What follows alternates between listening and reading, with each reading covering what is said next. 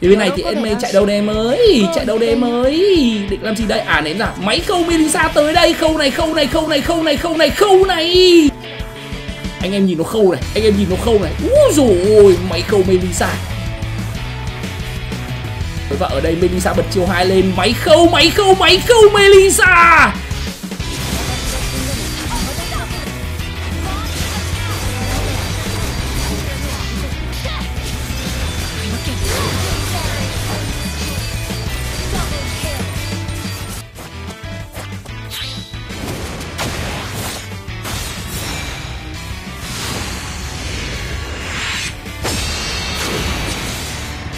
釘崎野原喜べ男子こう一点よ「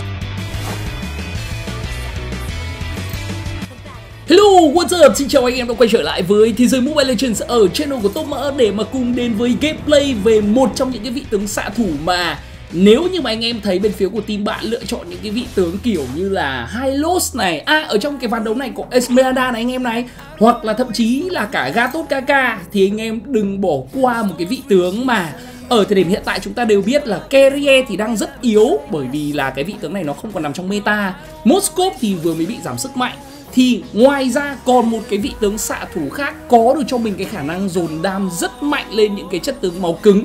Đó chính là em Melissa. Và ngày hôm nay Nobara Kugisaki đã quay trở lại với anh em máy khâu của tự game Mobile Legends ở thời điểm hiện tại. Mỡ nghĩ cái con uh, tướng mà có thể nói là dồn sát thương nhanh và mạnh lên những cái chất tướng uh, máu cứng và có thể nói là dồn ờ, dồn có thể nói là mạnh nhất ở thời điểm hiện tại. Chắc chắn đây sẽ là Nobara Kugisaki Melissa rồi anh em ạ.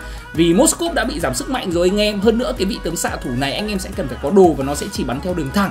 Trong khi đó thì uh, Melissa với cái khả năng ném mút đồ chuẩn của cái vị tướng xạ thủ này Thì sẽ có thể có được cho mình những cái tình huống bắn từ 2 cho đến 3 mục tiêu rất mạnh ở trong một cái trận đấu và ở trong game đấu này thì mỡ đang chơi Melissa ở trong những cái uh, mức rank đó chính là mức rank uh, gần 90 sao rank vinh quang ở thời điểm hiện tại. Còn cỡ đâu đấy chừng khoảng 10 sao nữa thì mỡ sẽ lên được đến cái rank uh, trí tôn của mùa này. Một cái mức rank mà cá nhân mỡ nghĩ rằng tương đối cao và những anh em solo rank ở thời điểm hiện tại thì sẽ tương đối khó để đạt được. Bởi vì mùa này thì mỡ ít khi đi solo lắm anh em ạ mỡ toàn đi team thôi. Nhưng ở trong ván đấu này chúng ta sẽ cùng xem với một cái trận đấu mà Melissa đang bị dẫn trước là như thế này. Vừa vào game ngoảnh đi, ngoảnh lại 3 phút đầu team mỡ lên bảng đến số 7 mạng thì con Melisa này nó sẽ chơi như thế nào anh em nhá. Rồi, thì ở trong ván đấu này, cái set đồ mà mỡ lên cho Melissa, nó sẽ vẫn như thường xuyên thôi. Một pha ganh đến từ Julian và mỡ bớ được vào vị trí của Layla mở phản kích lên, ném mút đồ chuẩn là tua máu như tụt quần, máy khâu Melissa. Khâu Layla lên bảng điểm số vào phía bên này. Có cái vị tướng Leo và ui! Bú bú bú bú bú bú. Đôi mạng dành cho Melisa trong tay của mỡ. Với một mạng 240 vàng đến từ Layla và shut down đi được đó là Leo Mode và đang từ nghèo lại trở thành rất rich ở giai đoạn đầu game anh em ạ. Cầm được cho mình đó là cái lưỡi hán mòn. Xét đồ mà mỡ lên cho Melisa như anh em có thể nhìn thấy với những cái phát bắn đến từ lưỡi hán mòn mà ném được mút đồ chuẩn thì sát thương dồn vào khiến cho cái vị tướng uh, Angela lên bảng điểm số và lướt né được cái ulti đến từ vị trí của Layla luôn. Quá xanh ở giai đoạn đầu game rồi lên bảng điểm số một mạ gục khiến cho mỡ cảm giác như là game này hơi thọt. Nhưng ngay sau đó là ba mạ gục liên tiếp đến từ cái con Melissa này thì set đồ của Emelisa thì uh, mợ xin chia sẻ là vẫn là những cái bốn item ờ, quen thuộc như là cái lửa hán mòn kèm theo đó là cái gậy như ý thôi.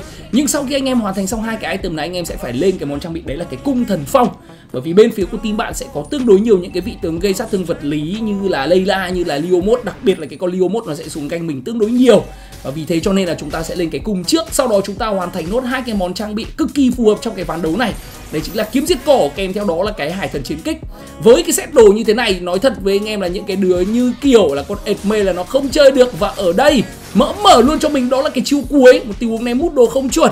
Cái sức mạnh của cái con Melissa ấy, anh em có thể nhìn thấy, bình thường bắn đòn đánh thường ý, thì nó không được khỏe đâu anh em ạ. Nhưng cái con Melissa này, bắn đòn đánh thường của nó sẽ cực kỳ thốn. Nếu như mà anh em ném được cái skill 2 tức là cái mút đồ của cái vị tướng xạ thủ này lên các thành viên bên phía của team bạn, hay nói cách khác, cái chiêu 2 nó chính là cái nguồn đam chính của Melissa. Lướt qua ném mút đồ và bắt đầu bắn này kết liễu đi được, đó là liều một tiếp đến thì bạn và Angela đang đứng ở trong tầm skill của đó là chiêu 2 và double kill bạn thứ năm. Trời ơi! Đầu game lên bảng điểm số, bây giờ thì bắt đầu xanh chín rồi. Sát thương của Melissa nó đã chạm tới cái thời điểm mà có thể đi tham gia giao tranh Ở trong cái ván đấu này rồi. À và ở trong cái ván đấu này thì anh em cũng có thể nhìn thấy Mỡ đã sử dụng cho mình một cái điểm tài năng mới. Đó chính là cái điểm tài năng cuồng chiến. Một trong những cái điểm tài năng cực kỳ mạnh dành cho Melissa. Nó có khả năng tăng gần gấp rưỡi sức mạnh của cái vị tướng xạ thủ Melissa này Khi mà cái điểm tài năng cuồng chiến này nó được kích hoạt. Một khi mà cái cuồng chiến nó được kích hoạt xong thì những cái lượng sát thương mà anh em bắn ra nó sẽ cộng hưởng với cái chiêu hai của Melissa. Kèm theo đó là lượng sát thương đến từ đồ. Cho nên là cái con Melissa này ở thời điểm hiện tại mỡ nghĩ đây là một cái vị tướng xạ thủ rất đáng chơi. Một con tướng xạ thủ mà anh em có thể dễ dàng check bụi với skill 2 có kỹ năng bảo vệ khỏi những cái vị tướng áp sát vào bản thân mình với cái chiêu cuối CC ra đặt ra được một cái vòng tròn và quan trọng nhất là cái chiêu cuối của cái con Melissa này nó tăng thủ. Anh em ạ nhiều khi anh em sẽ thấy ui Trông nhìn cái con Melissa cảm giác như là nó yếu yếu nhưng mà nó cứng nó tăng thủ anh em ạ. Và ở đây lướt lên và dồn sát thường lấy đi tốc biến được đó là Layla. Phần chân mỡ chưa mở bởi vì mỡ biết là Layla còn tốc biến nhưng đây sẽ là cái nhịp thứ hai lao lên anh em này. Lướt lên này mút đồ chuẩn mở phần chân lên tua máu này. Ôi ôi Máy câu Melissa tới đây. Ê, mà không ổn rồi anh em ơi. Không ổn không ổn một tí nào cả không ổn hết đường chạy rồi không ổn rồi. Khi mà mỡ đã hết skill còn liều mốt nó gọi ngựa xuống thì đây rồi bạn trả mạng bạn ơi. Và đó là mạng thứ ờ, 12, 13 ờ, của team mỡ ở trong cái tiêu giao tranh vừa xong Và bây giờ mỡ đã thoát được khỏi cái khoảng thời gian cơ cực rồi. Bây giờ không cần phần trận Belisa bắn vẫn đau anh em nhìn này. Mấy khâu Belisa tới đây, mấy khâu Belisa tới đây. Máu của Angela tụt như tụt cuồn. Và Esmeralda chỉ còn cách chạy đi mà thôi anh em ạ Không dám quay lại. Mỡ sẽ à, cùng với những cái người đồng đội của mình. Ôi, lao vào đến từ SB à. Máy khâu Melissa đến đây, Máy khâu Melissa đến đây. Trời ơi! Cô Melissa này nó khâu thì đừng hỏi luôn anh em ạ. Lướt lên, ném mút đồ ra. Máy khâu Melissa đến đây, Bắn nhẹ nhẹ, xương xương, tua đi 3 phần tư cây máu. Đến từ Layla và sau đó cô nàng xạ thủ bên phía của team bạn Bị kết liễu đến từ vị trí của Julian. Cầm được cho mình đó là cái cung thần phong. Bây giờ thì có lẽ là mợ sẽ không ngán những cái tình huống Mà có thể nói là cân hai khi mà đầy đủ combo đầy đủ combo gì anh em? Đầy đủ combo ulti phần chấn và kèm theo đó là cung thần phong với cái hiệu ứng phong ngân. Rồi thì bây giờ vào giao tranh của cái Melissa này rất là đơn giản rồi anh em ạ. Anh em chỉ cần ném skill hai chuẩn sau đó anh em lướt lên để mà có thể dùng sát thương gia tăng cái tốc độ tấn công. Hoặc nếu như mà anh em nào mà đánh theo cái kiểu gọi là uh, không cần phải lướt lên ý anh em chỉ cần ném chiêu hai mở phần chân lên thôi. Còn cái lướt lên sẽ là cái skill để anh em sẽ kẻ địch lại hoặc trong nhiều trường hợp như anh em có thể nhìn thấy, máy khâu Melissa đang khâu vào vị trí của Esme của Angela nhập vào. Quá kinh cường đi. Và ở trong tình huống này tiếp tục khâu vào Leo một. Đấy nhưng mà, đông quá đông quá, anh em ơi. Ôi ôi đông quá. Tìm bạn nó hai, ba, bốn thằng ở đây, anh em ạ. Hạ cũng đi được hai người rồi, Nhưng mà tìm bạn cũng đã phải mất hai. Đó, Cái quan trọng nhất của cái con Melissa đấy chính là Anh em combo kiểu gì cũng được. Miễn là anh em vào giao tranh, Anh em cần phải ném được cái chiêu hai, chuẩn, trúng mục tiêu, Và sau đó anh em bắt đầu bắn. Cái chiêu hai anh em mà anh em ném trượt Thì cái đam của con Melissa nó sẽ mất sạch luôn à. Đấy, vì thế cho nên làm gì thì làm nha. Vào giao tranh, ném chiêu hai nó cẩn thận, nó tử tế thôi. Là anh em sẽ có được cho mình một cái nguồn sát thương dồn đam rất là lớn. Và ở phía bên này thì team bạn đang đứng ở quanh cái bãi bùa đỏ. Hình đá đá đẹp đến từ vị trí của Terisla và máy khâu Melissa tới đây. Máy khâu Melissa tới đây. Và Angela lên bảng điểm số rồi. Khâu sát thương dồn vào đang là rất nhiều. Đã có được cho mình đó là cái gậy như ý kèm theo đó là cái lửa Enmon guồng chiến cũng đã được kích hoạt và sát thương trả vào trong giao tranh, nó đang là cực kỳ khổng lồ. Thì bên này thì Esme chạy đâu đây em ơi? Chạy đâu đây em ơi? Định làm gì đây? À ném ra. Máy khâu Melissa tới đây. Khâu này khâu này khâu này khâu này khâu này khâu này. Trời ơi. Khâu cho trên người của Esmeralda Chí chí chẳng chìm vết thương luôn anh em ạ. Và đó là mạng thứ 10 Tầm này thì cái con Melissa nó chẳng cần gì cả anh em ạ. Nó chỉ cần chờ đồng đội của nó setup thôi. Và anh em có thể nhìn thấy. Bây giờ cái tốc đánh của Melissa Mỡ nghĩ là nó chẳng kém gì cái con Musco cả. Và khả năng dồn sát thương của con Melissa trong giao tranh, Mỡ nghĩ là nó sẽ tuyệt vời hơn so với Moscow rất là nhiều. Quan trọng nhất là cái con Moscow nó sẽ sợ những cái vị tướng lao vào nó, Còn con Melissa này thì nó không. Bởi vì chiêu cuối của Melissa sẽ ngăn các thành viên bên phía của team bạn lao vào áp sát và qua đó con Melissa nó còn tăng thủ cơ. Vì thế cho nên nếu như mà xét về ở mọi khía cạnh giai đoạn đầu game, giai đoạn giữa game và giai đoạn cuối game thì mỡ vẫn đánh giá con Melissa nó cao hơn hẳn so với Moscow. Và nó sẽ chỉ thua Moscow duy nhất một điểm ở đây. Đấy chính là nó không có được cho mình cái khả năng tham gia giao tranh cũng như là uh, tạo đột biến đến từ cái con Moscow ở cái chiêu cuối của cái vị tướng xạ thủ đấy mà thôi. Còn khả năng bắn trong giao tranh của Melissa ở thời điểm hiện tại đang là rất tuyệt vời. Anh em nên chơi thử cái vị tướng xạ thủ này nhá. Đường dưới đúng không? Có Edme có Angela đúng không? Ui Saber sợ à? thế thì mỡ đi ra luôn. Ném thẳng vào mặt. Ôi ném mút đồ trượt này anh em này. Nhưng mở chiêu cuối lên CC ra kết liễu đi được đó là cái vị tướng Angela và sau cuối là Esmeralda team mỡ bắt đầu vượt trội về mạng gục so với team bạn ở trong cái ván đấu này rồi. 11 phút thi đấu anh em có thể nhìn thấy có tới 46 mạng hạ gục đã có ở trong cái ván đấu này và team mỡ có được tổng cộng 29 mạng team bạn bây giờ đã bắt đầu thua thiệt hơn khi họ chỉ có vỏn vẹn là 17 mạng thua team mỡ 12 mạng anh em ạ. Trụ đường dưới sẽ được lấy đi. Team mỡ vừa mới xong ăn được cái con lót nhưng mà cái con lót đó nó đã bốc hơi ở đường trên mất rồi chỉ làm cái con lót tí mà thôi. Rồi cái ván đấu này chúng ta có thể nhìn thấy đây là một cái ván đấu nó rất là nhẹ nhàng. Nó hơi vất vả một chút ở giai đoạn đầu game nhưng đến giai đoạn late game thì có Melissa này nó có thể khâu được rất mạnh mẽ anh em ạ. Rồi phía bên này Angela nhập vào Leo mốt nhưng mà tình huống nhập không có tác dụng gì cả mỡ lướt qua ném mút đồ và bắt đầu khâu vào mặt của SB nhưng SB mở thanh tẩy chạy đi. Mỡ đuổi theo mỡ bắn với khâu rất đau đến từ cái con SB đến từ cái con uh, uh, Melissa này. Cầm búa đóng đinh vào mặt team bạn. Ui ném chiêu hai chuẩn này nhưng vấn đề ở đây là ngoài tầm dồn sát thương mất rồi vợ sẽ quyết định lùi về và lấy đi cho mình đó là cái phần bùa đỏ bên phía phần rừng của team bạn. Đấy thì thật ra là cái con Melissa này ở thời điểm hiện tại nó vẫn có những cái nhược điểm anh em nhá. Nhược điểm của nó chính là nếu như mà team bạn có nhiều những cái vị tướng cơ động quá mà nó thoát ra được khỏi cái con mút đồ ấy thì cái lượng sát thương của con Melissa này sẽ đuối hơn rất nhiều so với những cái vị tướng khác. Và quan trọng nhất là cái con Melissa nếu như mà nó gặp phải cái tụi tay dài ấy, thì đôi khi cái chiêu cuối của nó nó không có tác dụng. Anh em hiểu không ạ? Vì thế cho nên là cái con Melissa nó sẽ khá là phù hợp với những cái đội hình mà team bạn nhiều những cái vị tướng lao vào thì nó sẽ kích hoạt được cái trụ cuối. Và ở đây Melissa bật chiêu hai lên. Máy khâu máy khâu máy khâu, Melissa! Và đó là Esmeralda lên bảng điểm số. Tuy nhiên phía bên này thì Saber cũng đã đi bụi mất rồi. Nhưng team mỡ đã có được tới ba mạ gục ở trong cái tình huống giao tranh vừa xong. Và bây giờ thì mỡ sẽ có một cái tình huống mà đi cùng những cái người đồng đội của mình. Chờ lót ra thôi anh em ạ team bạn nó vẫn đang đẹp trận đấu này thì về cơ bản team mỡ đang có được cái lợi thế. Nhưng anh em lưu ý là cái con Melissa này nó đang rất xanh nhá. Anh em đồng tình là nó đang rất xanh đúng không anh em? Nhưng nếu như mà nó bị shut down ấy thì tiền đổ vào tài khoản bên phía của team bạn sẽ là rất kinh khủng. Và bây giờ anh em có thể nhìn thấy sát thương của Melissa kìa. Trời ơi, máy khâu tới đây, máy khâu tới đây. Tầm này mỡ chỉ cần một giây để giữ team bạn lại. Và sau đó mỡ sẽ có thể kích được cây phần chấn và ném được mút đồ vào Thì ôi rồi máy khâu đến đây anh em ạ. Rồi team mỡ, ôi rồi thôi lại đánh nhau lẻ ở phía bên dưới này rồi. Rồi, hai làm sao đánh được năm? Thôi xong rồi anh em ạ. Julian bị shut down. Tiếp đến là Terisla chỉ còn lại mỡ với cả hai tướng màu giấy là Saber và Eudora thôi. Game này, ui, lại đánh nhau đúng lúc con lót nó xuất hiện nữa. Tầm này đánh kiểu gì bây giờ? Saber, ôi, Saber quyết định lao vào đổi bạn. À không không đổi bạn, anh ta bắt được vào vị trí của đó là Layla. Và như vậy là chậm nhịp ăn lót đến từ bên phía của team bạn. Trong khi đó thì con Esmeralda nó đang đẩy đường dưới. Ôi, tầm này Esme nó nó không solo được với mỡ đâu anh em ạ. Con xạ thủ hiếm hoi không ngán những cái con đấu sĩ như là cái con Esmeralda. Đây, anh em nhìn thấy tôi lướt thẳng vào này, nó nhìn tôi, nó sợ một phép. Hai thân chiến kích đã có và bắt đầu khâu vào mặt của đó là Esmeralda, nhưng Esmeralda thanh tẩy đi mất rồi. Phía bên này thì có Leomot. Leomot đang gọi ngựa rồi sát thương kết liễu đi được Saber. Và anh ta đang muốn ăn lót, mỡ để làm tình huống này. Lướt ném chiêu hai mở phần chân lên. Máy khâu Melissa và đó là Leomot, anh ta bốc hơi chỉ trong một giây. Sát thương dồn vào đến từ con Melissa này, nó quá kinh tởm và bây giờ thì team mỡ đang có lợi thế để ăn đi cho mình. Đó là cái con lót này.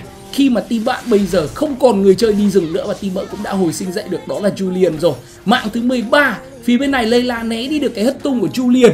Và team mỡ bắt đầu có được những cái tình huống gọi là di chuyển nó cùng nhau thôi anh em ạ. Chứ bây giờ nếu như mà chúng ta mà đi lẻ thì với cái đội hình mỏng cơm như thế này thì khả năng cao là team của chúng ta nó sẽ ra trùng gà và chúng ta sẽ đi bộ.